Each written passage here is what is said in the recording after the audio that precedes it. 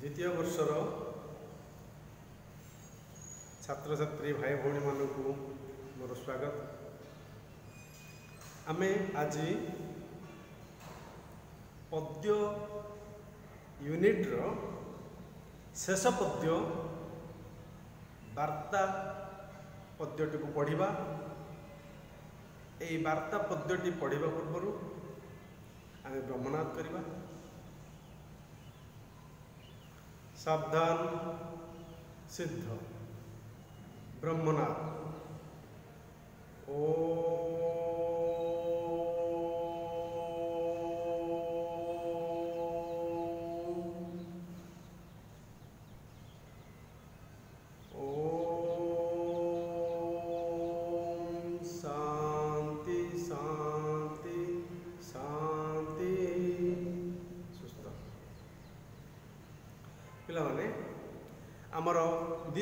ୟୁନିଟ୍ର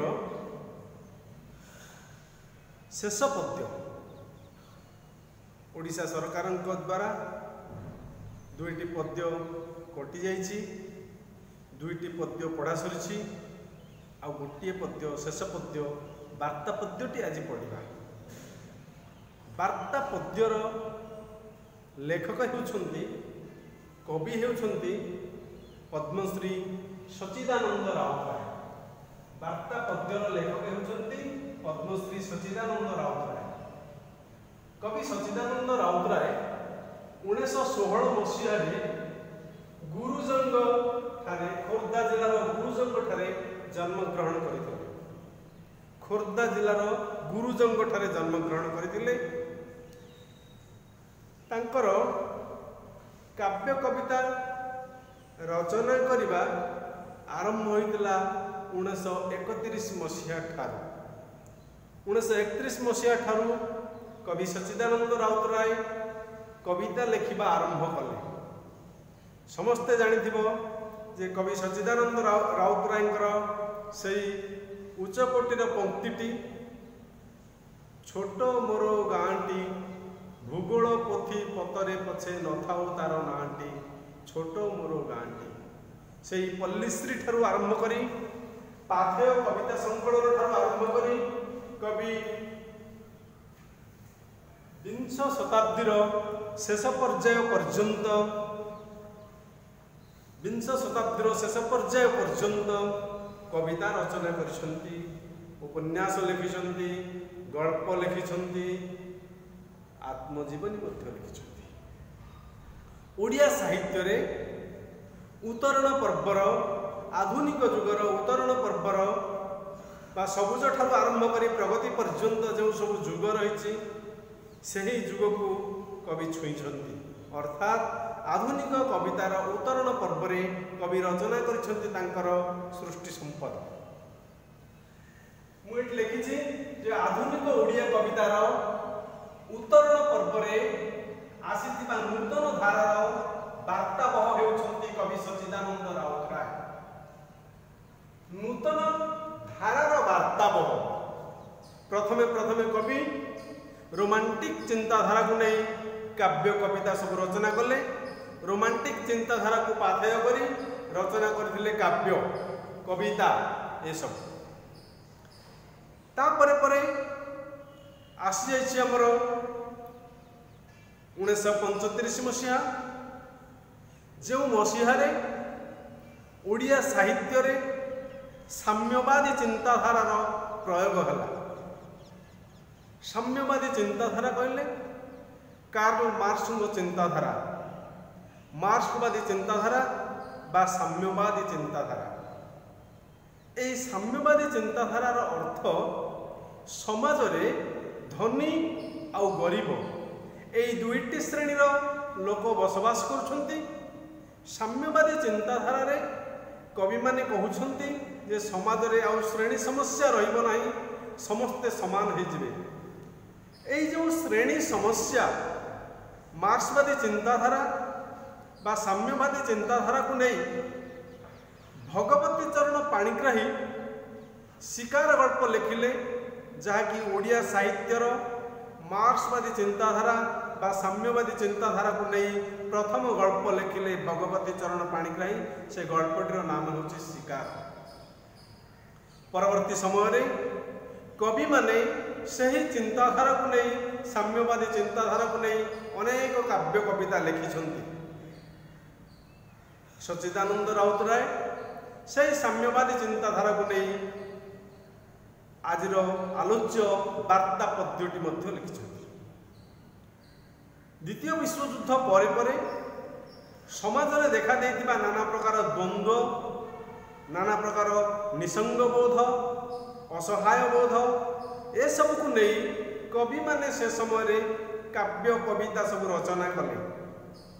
କବି ସଚ୍ଚିଦାନନ୍ଦ ରାଉତରାୟ ଏହିଭଳି ଯୁଦ୍ଧ ପରବର୍ତ୍ତୀ ଘଟଣାକୁ ନେଇ ଅନେକ ସୁନ୍ଦର ସୁନ୍ଦର କବିତାମାନ ଲେଖିଛନ୍ତି। ଆରମ୍ଭ ହୋଇଛି ତାଙ୍କର ଉଣେଇଶହ ଏକତିରିଶ ମସିହାରୁ। ଉଣେଇଶହ ଏକତିରିଶ ମସିହାରେ ସିଏ ପାଥେୟ ରଚନା କଲେ। ଆମେ ଆଲୋଚନା କରିବା କବିଙ୍କର ସୃଷ୍ଟି ସମ୍ପଦ। କବିଙ୍କର ସୃଷ୍ଟି ସମ୍ପଦ ମଧ୍ୟରେ ରହିଛି ପାଥେୟ। ଉଣେଇଶହ ଏକତିରିଶ ମସିହାରେ ତାକୁ ରଚନା କରିଥିଲେ। ଏହି ପାଥେୟ କବିତା ସଂକଳନ ସେହି ରୋମାଣ୍ଟିକ ଭାବଧାରାକୁ ନେଇ ପରିକଳ୍ପିତ। ପାଥେୟ ଉଣେଇଶହ ଏକତିରିଶ ପୂର୍ଣ୍ଣିମା ଉଣେଇଶହ ବତିଶ ମସିହାରେ ବାଜିରାଉତ ଉଣେଇଶହ ଏକଚାଳିଶ ତାପରେ ପରେ ଅଭିଯାନ ରକ୍ତ ଶିକ୍ଷା ପଲ୍ଲୀଶ୍ରୀ ଉଣେଇଶହ ଏକଚାଳିଶ ମସିହା ବସନ୍ତ ଅଭିଜ୍ଞାନ ଭାନୁମତିର ଦେଶ ପାଣ୍ଡୁଲିପି ଲେଖିଲା ବେଳକୁ ଉଣେଇଶହ ସତଚାଳିଶ ମସିହା ହେଇଗଲାଣି। ପୁଣି କବିତା ଉଣେଇଶହ ବାଷଠି କବିତା ଉଣେଇଶହ ଅଣସ୍ତରୀ କବିତା ଉଣେଇଶହ ଏକସ୍ତରୀ କବିତା ଉଣେଇଶହ ନବେ ଏହାରି ମଧ୍ୟରେ ଅନେକ କବିତା ସଂକଳନ ଆହୁରି ରହିଛି। ମୁଁ ସେହି କବିତା ସଂକଳନ ଗୁଡ଼ିକ ଏଇଠି ଲେଖି ନାହିଁ। ଉପନ୍ୟାସ ଭିତରେ କବି ଉପନ୍ୟାସ ଭିତରେ କବି ସଚ୍ଚିଦାନନ୍ଦ ରାଉତରାୟ ଚିତ୍ରଗ୍ରୀବ ଉପନ୍ୟାସକୁ ଲେଖିଛନ୍ତି। ଗଳ୍ପ ଲେଖିଛନ୍ତି ମଶାଣିର ଫୁଲ ମାଟିର ତାଜ ଛାଇ ମାଙ୍କଡ଼ ଓ ଅନ୍ୟାନ୍ୟ ଗଳ୍ପ। ପ୍ରବନ୍ଧ ଲେଖିଛନ୍ତି ସାହିତ୍ୟର ମୂଲ୍ୟବୋଧ ସାହିତ୍ୟ ବିଚାର ଓ ମୂଲ୍ୟବୋଧ। ତାଙ୍କର ଆତ୍ମଜୀବନୀ ହେଉଛି ଉତ୍ତର କକ୍ଷ। ସଚ୍ଚିଦାନନ୍ଦ ରାଉତରାୟଙ୍କର ଆତ୍ମଜୀବନୀ ହେଉଛି ଉତ୍ତର କକ୍ଷ। ଏହି କବିତା ସବୁଥିରେ ସେ ଆଧୁନିକତାର ଛାପ ଦେଇଛନ୍ତି। ଗୋଟିଏ କଥା ଆମେ ଚିନ୍ତା କରିବା। ଉପେନ୍ଦ୍ର ଭଞ୍ଜଙ୍କ ସମୟରେ କି ଜଗନ୍ନାଥ ଦାସଙ୍କ ସମୟରେ ପଞ୍ଚସଖା ଯୁଗର କବି ଜଗନ୍ନାଥ ଦାସଙ୍କ ସମୟରେ ହେଉ କିମ୍ବା ସାରଳା ଦାସଙ୍କର ମହାଭାରତରେ ହେଉ ଏସବୁ ମହାକାବ୍ୟ କାବ୍ୟ ଗୁଡ଼ିକରେ ମିତ୍ରାକ୍ଷର ଛନ୍ଦରେ କାବ୍ୟ ସବୁ ରଚନା କରାଯାଉଥିଲା। ରାଧାନାଥ ରାୟ ଅମିତ୍ରାକ୍ଷର ଛନ୍ଦରେ ମଧ୍ୟ କାବ୍ୟ ରଚନା କରିଛନ୍ତି। ମିତ୍ରାକ୍ଷର ଛନ୍ଦ ଅମିତ୍ରାକ୍ଷର ଛନ୍ଦ ପରବର୍ତ୍ତୀ ସମୟରେ ଉଣେଇଶହ ସତଚାଳିଶ ମସିହା ବେଳକୁ ସଚିଦାନନ୍ଦ ରାଉତରାୟ ଯେତେବେଳେ ପାଣ୍ଡୁଲିପି ରଚନା କଲେ ପାଣ୍ଡୁଲିପି କବିତା ସଂକଳନ କଲେ ସେହି ପାଣ୍ଡୁଲିପି କବିତା ସଂକଳନରେ ମୁକ୍ତ ଛନ୍ଦକୁ ପ୍ରୟୋଗ କଲେ। ମିତ୍ରାକ୍ଷର ଛନ୍ଦ ଅମିତ୍ରାକ୍ଷର ଛନ୍ଦ ସମସ୍ତେ ଜାଣିଛ ମୁକ୍ତ ଛନ୍ଦ ହେଉଛି ଗୋଟିଏ ପାଦରେ। ପାଦ କହିଲେ ତମମାନେ ଜାଣିଥିବ ଛନ୍ଦ ପଢ଼ିଲା ବେଳେ ଗୋଟିଏ ଧାଡ଼ିକୁ ପାଦ କୁହାଯାଏ। ପୁରା ଯେମିତି ଗୁଜରୀ ଛନ୍ଦ କହିବା।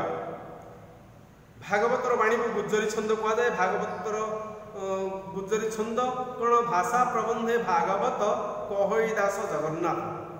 ନବାକ୍ଷରୀ ଛନ୍ଦ ବା ଗୁଜରୀ ଛନ୍ଦ ବୋଲି କୁହାଯାଏ ଭାଷା ପ୍ରବନ୍ଧେ ଭାଗବତ ଗୋଟିଏ ପାଦ କହଇ ଦାସ ଜଗନ୍ନାଥ ଆଉ ଗୋଟିଏ ପାଦ ଏ ଦୁଇଟି ପାଦ ମିଶିଲେ ଗୋଟିଏ ପଦ ହୁଏ ମୁକ୍ତ ଛନ୍ଦର ଅର୍ଥ ହେଲା ଯେ ଗୋଟିଏ ପାଦରେ ଗୋଟିଏ ଅକ୍ଷର ମଧ୍ୟ ରହିପାରିବ ଗୋଟିଏ ପାଦରେ ଅତି ବେଶୀରେ ଚଉରାଳିଶଟି ଅକ୍ଷର ମଧ୍ୟ ରହିପାରିବ। ପଇଁଚାଳିଶଟି ଅକ୍ଷର ନୁହଁ ଚଉରାଳିଶଟି ଅକ୍ଷର ଇଏ ହେଉଛି ମୁକ୍ତ ଛନ୍ଦର କବିତା।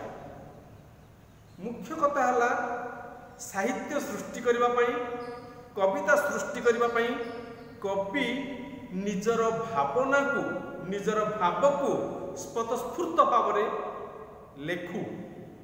ସିଏ ମୁକ୍ତ ଛନ୍ଦ ହେଉ ଅମିତ୍ରାକ୍ଷର ଛନ୍ଦ ହେଉ କି ମିତ୍ରାକ୍ଷର ଛନ୍ଦ କବି ସଚ୍ଚିଦାନନ୍ଦ ରାଉତରାୟ ମୁକ୍ତ ଛନ୍ଦର କବିତା ଆରମ୍ଭ କଲେ ଉଣେଇଶହ ସତଚାଳିଶ ମସିହାରେ ସତଚାଳିଶ ମସିହା ବେଳକୁ ପାଣ୍ଡୁଲିପିରେ ଏହି ପାଣ୍ଡୁଲିପି କବିତା ସଂକଳନଟି ଉଣେଇଶହ ଅଣଚାଳିଶ ମସିହାରୁ ଲେଖା ଆରମ୍ଭ କରିଛନ୍ତି ଉଣେଇଶହ ସତଚାଳିଶ ମସିହାରେ ସାରିଛନ୍ତି। ଏହି ପାଣ୍ଡୁଲିପି ସମ୍ପର୍କରେ ଏତେ କହିବାର କାରଣ ପାଣ୍ଡୁଲିପି କବିତା ସଂକଳନରୁ କବିଙ୍କର ବାର୍ତ୍ତା ପଦ୍ୟଟି ଆନିତ ଏହି ବାର୍ତ୍ତା ପଦ୍ୟଟି ସେହି ମୁକ୍ତ ଛନ୍ଦରେ ରଚନା କରିଛନ୍ତି। ବିଶ୍ୱ ବିଶ୍ୱଯୁଦ୍ଧ ପରେ ମଣିଷ ଯେଉଁ ସବୁ ଅସୁବିଧାର ସମ୍ମୁଖୀନ ହେଲା ସେହି ସବୁ ଅସୁବିଧାକୁ ନେଇ ସେହି ସବୁ ଶ୍ରେଣୀ ସମସ୍ୟାକୁ ନେଇ କବି ରଚନା କରିଛନ୍ତି ବାର୍ତ୍ତା ପଦ୍ୟଟି। କବି ରୋମାଣ୍ଟିକରୁ ଆରମ୍ଭ କରି ଏହି ସବୁଜ ଗୋଷ୍ଠୀର ପ୍ରଭାବରୁ ମୁକ୍ତ ହୋଇ ପ୍ରଗତିବାଦୀ ଆଧୁନିକ କବିତା ଭାବରେ କବି ଭାବରେ ସେ ପ୍ରସିଦ୍ଧି ଅର୍ଜନ କରିଛନ୍ତି ଆଧୁନିକ କବି ଭାବରେ ସେ ପ୍ରସିଦ୍ଧି ଅର୍ଜନ କରିଛନ୍ତି ଆଉ ତାଙ୍କର ସାମଗ୍ରିକ କୃତିକୁ ଲକ୍ଷ୍ୟ କଲେ ଆମେ ଏତିକି ଜାଣିପାରିବା ଯେ ପଲ୍ଲୀ ପ୍ରକୃତି ଠାରୁ ଆରମ୍ଭ କରି ସାମ୍ୟବାଦୀ ଚେତନାର ରୂପକାର ଭାବେ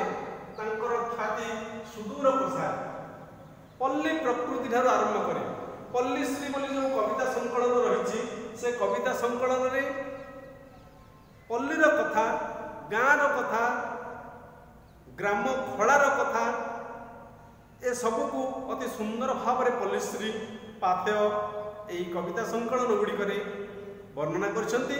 ହେଲେ ପଲ୍ଲୀ ପ୍ରକୃତି ଠାରୁ ଆରମ୍ଭ କରି ସାମ୍ୟବାଦୀ ଚେତନା ମାର୍କ୍ସବାଦ ବା କାର୍ଲ ମାର୍କ୍ସଙ୍କ ସାମ୍ୟବାଦୀ ଚେତନାକୁ ନେଇ ମଧ୍ୟ କବିତା ରଚନା କରିଛନ୍ତି ଯାହାକି ପାଣ୍ଡୁଲିପିରେ ରହିଛି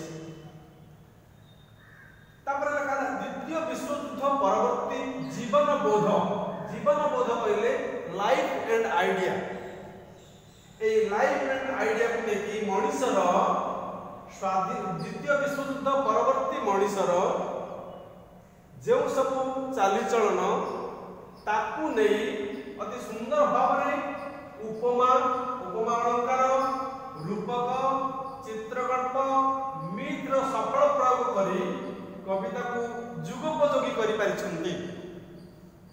ସାହିତ୍ୟର ଉପମା ଅଳଙ୍କାର ସାହିତ୍ୟର ମିଥ୍ ରୂପକ ଚିତ୍ରକଳ୍ପ ପ୍ରତୀକ ଏସବୁକୁ ନେଇକି ଇଜମ ଗୁଡ଼ାକୁ ନେଇକି ଏସବୁ ବାଦ ଗୁଡ଼ାକୁ ନେଇକି ଚିତ୍ରକଳ୍ପବାଦ ପ୍ରତୀକବାଦ ଏସବୁକୁ ନେଇ ଅତି ସୁନ୍ଦର ଭାବରେ କବିତାକୁ ଯୁଗୋପଯୋଗୀ କରିଛନ୍ତି କବି ସଚ୍ଚିଦାନନ୍ଦ ରାଉତ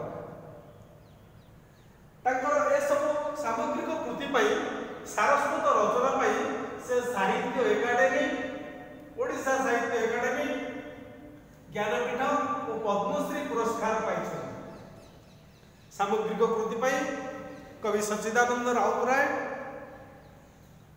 ସାହିତ୍ୟ ଏକାଡେମୀ ପୁରସ୍କାର ଜ୍ଞାନପୀଠ ପୁରସ୍କାର ଓ ପଦ୍ମଶ୍ରୀ ଉପାଧି ପାଇଛନ୍ତି ଆଲୋଚ୍ୟ କବିତାଟି ପାଣ୍ଡୁଲିପି କବିତା ସଂକଳନ ଉଣେଇଶହ ଅଣଚାଳିଶରୁ ଉଣେଇଶହ ସତଚାଳିଶ ମସିହା ମଧ୍ୟରେ କବି ଏହି ପାଣ୍ଡୁଲିପି କବିତା ସଂକଳନଟି ରଚନା କରିଛନ୍ତି। ଆଲୋଚ୍ୟ ବାର୍ତ୍ତା ମୁକ୍ତ ଛନ୍ଦର କବିତା।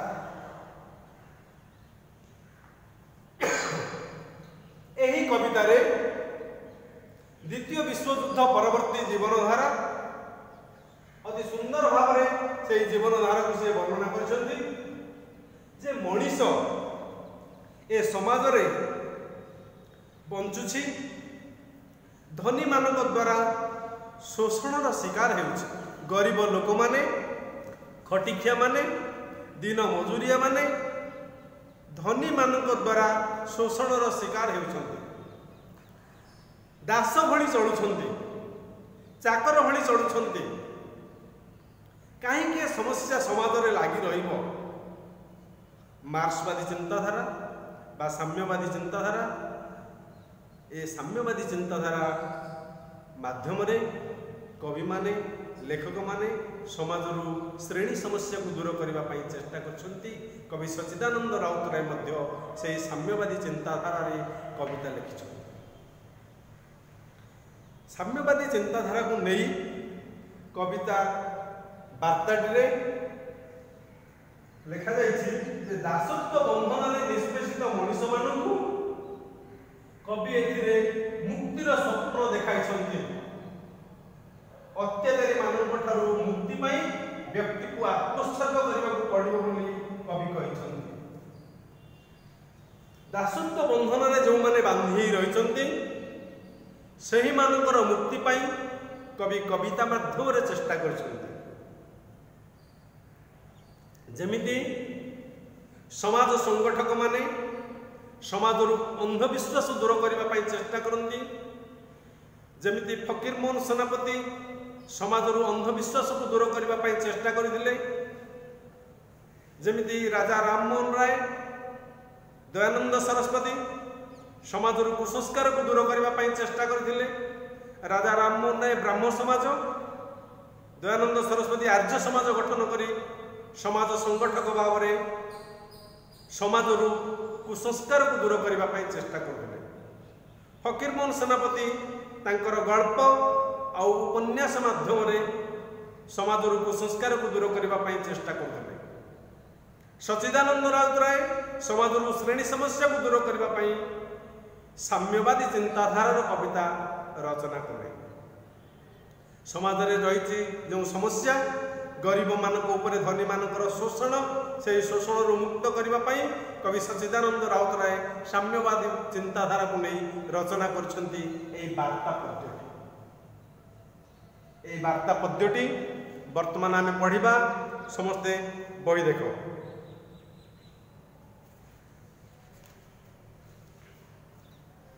ବାର୍ତ୍ତା ପିଲାମାନେ ଲକ୍ଷ୍ୟ କରିବ ଯେ ବାର୍ତ୍ତା ବହିରେ ସାନ ତରେ ରେଫ୍ ଆଉ ଆକାର ଦିଆଯାଇଛି ଠିକ୍ ଏମିତି ଲେଖିଲେ ମଧ୍ୟ ବାର୍ତ୍ତା ଠିକ୍ ବଡ଼ ତରେ ରେଫ୍ ଆକାର ବାର୍ତ୍ତା ସଚିଦାନନ୍ଦ ରାଉତରାୟ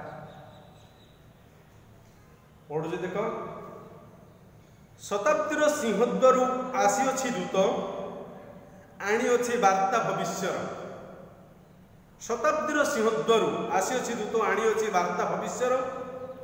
ଜୀବନର ସମ୍ଭାବନା ଜଇଁ ମୂର୍ତ୍ତିମାନ ନାଇଁ ଜହିଁ ପ୍ରାଚୀର ପ୍ରାନ୍ତର। ଜାଗ ହେ ମାନବ ଶିଶୁ ଜାଗ ନର ବ୍ରହ୍ମ ଜାଗ ଧରି ଲୌକିକର ଜ୍ଞାନ। ପିଲାମାନେ ଲକ୍ଷ୍ୟ କର ଶତାବ୍ଦୀର ସିଂହଦ୍ୱାରରୁ ଦୂତ ଆସିଛି ଶତାବ୍ଦୀ ଆମେ ହେଉଛୁ ଏକବିଂଶ ଶତାବ୍ଦୀର ମଣିଷ ଆମେ ଯେତେବେଳେ ନୂଆ ନୂଆରେ ଅଧ୍ୟାପନା ଆରମ୍ଭ କରିଥିଲୁ ନୂଆ ନୂଆରେ ଅଧ୍ୟାପକ ହେଇଥିଲୁ ସେହି ସମୟରେ ଉଣେଇଶହ ଅନେଶ୍ୱତ ମସିହା ଡିସେମ୍ବର ମାସ ଏକତିରିଶ ତାରିଖ କଲେଜରୁ ଛୁଟି ହେଲା ବାହାରିଲୁ ଘରକୁ। ସେ ସମୟରେ ଅଧ୍ୟାପକମାନେ ପରସ୍ପରକୁ ହାତ ମିଶାଇ କହୁଥିଲେ କ'ଣ କହିଥିବେ ଭାବିପାରୁଛ? ନୂତନ ଶତାବ୍ଦୀକୁ ସ୍ୱାଗତ କରୁଥିଲେ। ହ୍ୟାପି ନ୍ୟୁ ଇୟର କହୁନଥିଲେ ହ୍ୟାପି ମିଲେନିୟମ କହୁଥିଲେ। ଅର୍ଥାତ୍ ନୂତନ ଶତାବ୍ଦୀକୁ ଅଭିନନ୍ଦନ ଜଣାଉଥିଲେ ସେ ନୂତନ ଶତାବ୍ଦୀ ଉଣେଇଶହ ଅନେଶ୍ୱତ ମସିହାରେ ଆମେ ଭାବୁଥିଲୁ ଯେ ନୂତନ ଶତାବ୍ଦୀ ଆସିଲେ ନୂଆ କିଛି ଆହ୍ୱାନ ଆସିବ ସେହି ନୂତନ ଶତାବ୍ଦୀ ଆମ ପାଇଁ ଅନେକ ଜିନିଷ ଆଣିଦେଇଛି କବି ସଚିଦାନନ୍ଦ ରାଉତରାୟ ଉଣେଇଶହ ସତଚାଳିଶ ମସିହାରେ ଏହି ବାର୍ତ୍ତା ପଦ୍ୟଟି ଲେଖିଲେ ସେତେବେଳେ ମଧ୍ୟ ସିଏ ନୂତନ ଶତାବ୍ଦୀର କଥା ଲେଖିଛନ୍ତି। ସେହି ନୂତନ ଶତାବ୍ଦୀ ହେଉଛି କ'ଣ? ନା ଶତାବ୍ଦୀର ସିଂହଦ୍ୱାରରୁ ଆସିଅଛି ଦୂତ। ମନ୍ଦିରର ସିଂହଦ୍ୱାର ଅଛି। ମନ୍ଦିରର ମନ୍ଦିର ଭିତରେ ଭଗବାନ ଥାନ୍ତି ମନ୍ଦିରରୁ ଭଗବାନ ସମସ୍ତଙ୍କୁ ଦର୍ଶନ ଦିଅନ୍ତି। କବି ଲେଖୁଛନ୍ତି ଶତାବ୍ଦୀର ସିଂହଦ୍ୱାରରୁ ଗୋଟିଏ ଶତାବ୍ଦୀ କହିଲେ ଶହେ ବର୍ଷ।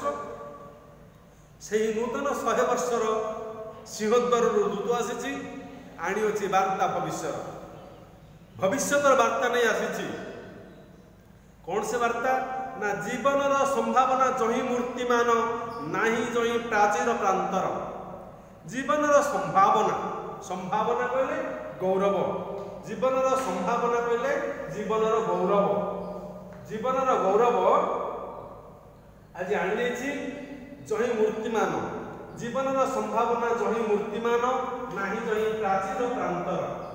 ଜୀବନର ଗୌରବ ଆଜି ଦେବଧାରଣ କରିଛି। ଆମ ଜୀବନ କେଉଁଭଳି ଭାବରେ ଦ୍ୱନ୍ଦ୍ୱ ସଂଘର୍ଷ ମଧ୍ୟରେ ଗତି କରୁଛି ସେହି ଜୀବନର କଥାକୁ କବି ସଚିଦାନନ୍ଦ ରାଉତରାୟ ବର୍ଣ୍ଣନା କରିଛନ୍ତି। ଯେ ଜୀବନର ସମ୍ଭାବନା ଜହିଁ ମୂର୍ତ୍ତିମାନ ସମ୍ଭାବନା କହିଲେ ଗୌରବ ମୂର୍ତ୍ତିମାନ କହିଲେ ଦେବଧାରୀ ନାଇଁ ଜହିଁ ପ୍ରାଚୀର ପ୍ରାନ୍ତର। ପ୍ରାଚୀର କହିଲେ ପାଚେରୀ ପ୍ରାନ୍ତର କହିଲେ ପଡ଼ିଆ। ଆମ ଜୀବନ ଆଜି ଏମିତି ହେଇଯାଇଛି ଆମେ ମୁକ୍ତ ଭାବରେ ବୁଲି ପାରୁଛୁ ମୁକ୍ତ ଭାବରେ ସବୁ କାମ କରିପାରୁଛୁ। ହାତ ମୁଠାରେ ଆମର ଯେଉଁ ଯନ୍ତ୍ରଟି ଧରିଛୁ ତାହାରି ମାଧ୍ୟମରେ ଆମେ ପୃଥିବୀର କୋଣ ଅନୁକୋଣରେ ରହୁଥିବା ଲୋକମାନଙ୍କ ସହିତ କଥା ହେଇପାରୁଛୁ। ଆମ ଆମ ପାଇଁ ଆଜି ଏ ପୃଥିବୀଟି ମୁକ୍ତ ହେଇଯାଇଛି ଯେମିତି ପୃଥିବୀଟି ମୁକ୍ତ ହେଇଯାଇଛି ସେମିତି କବି ସାହିତ୍ୟ ମଧ୍ୟ ମୁକ୍ତ ହେଇଯାଇଛି ସେଥିପାଇଁ ଇଏ ହେଉଛି ମୁକ୍ତ ଛନ୍ଦର କବିତା ଆମ ପାଇଁ ଆଉ କିଛି ପାଚେରୀ କିଛି ପଡ଼ିଆ କିଛି ନାହିଁ ଆମେ ମୁକ୍ତ ଭାବରେ ଚାରିଆଡ଼େ ବୁଲି ପାରିବୁ ଯଦି ଆମେ ମୁକ୍ତ ଭାବରେ ବୁଲି ପାରିବା ତାହେଲେ ସମାଜରେ କାହିଁକି ଶ୍ରେଣୀ ସମସ୍ୟା ରହିଛି ଧନୀ ଗରିବ ରହିଛି ସେଇ କଥାକୁ ନେଇ ସାମ୍ୟବାଦୀ ଚିନ୍ତାଧାରାକୁ ପ୍ରୟୋଗ କରି କବି ଲେଖିଛନ୍ତି ପଦ୍ୟଟି ଜାଗ হে ମାନବ ଶିଶୁ ଜାଗ ନର ବ୍ରହ୍ମ ଜାଗ ଧରି ଲୌକିକର ଜ୍ଞାନ ଆଜି ଜାଗି ଉଠ। ହେ ମାନବ ଶିଶୁ ଜାଗି ଉଠ। ଜାଗ ଧରି ଲୌକିକର ଜ୍ଞାନ। ମଣିଷମାନଙ୍କୁ ଆହ୍ୱାନ ଦେଇ କହୁଛନ୍ତି ଜାଗି ଉଠ। ନିଜର ସାମାଜିକ ଜ୍ଞାନକୁ ପାଥେୟ କରି ଆଜି ଜାଗି ଉଠ। ନିଜର ଦାବିକୁ ହାସଲ କର। ବର୍ତ୍ତମାନ ଆମେ ଦେଖିବା ଆଜି ଆମେ ସବୁ କ'ଣ ପଢ଼ିଲେ?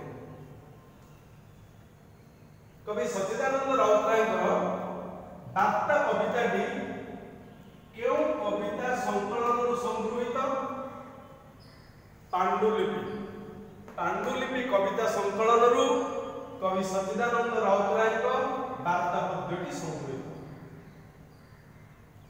ଶତାବ୍ଦୀର ସିଂହଦ୍ୱାରରୁ ଭବିଷ୍ୟତର ବାର୍ତ୍ତା କିଏ ଆଣିଛି ନା ଶତାବ୍ଦୀର ସିଂହଦ୍ୱାରରୁ ଭବିଷ୍ୟତର ବାର୍ତ୍ତା ଦୂତ ଆଣିଛି आज ये थाऊ आम द्वितीय कालांशर पुणी पढ़ा धन्यवाद।